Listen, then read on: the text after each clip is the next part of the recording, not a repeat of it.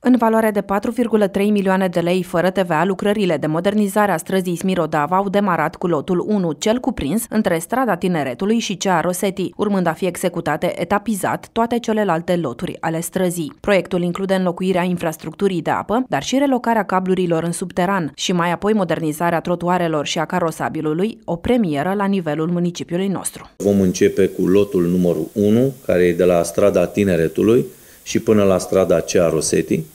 Se va interveni pe loturi și se vor finaliza uh, lucrările uh, uh, pe fiecare lot, mai puțin partea de asfalt. Așadar, vor începe lucrările la trotoare, la alveole, la implementarea rețelei de uh, distribuție a apei, la uh, introducerea uh, infrastructurii pentru Uh, transportul uh, pentru cablurile uh, din acea zonă care vor fi ulterior coborâte în subteran.